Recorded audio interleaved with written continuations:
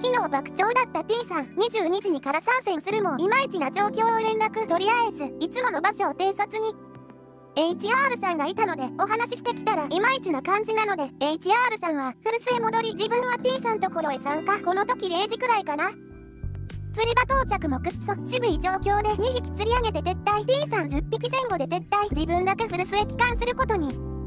フルス到着するも渋いくっそ。当たりがなくてやめようかと思ってたら3時30分頃から当たり。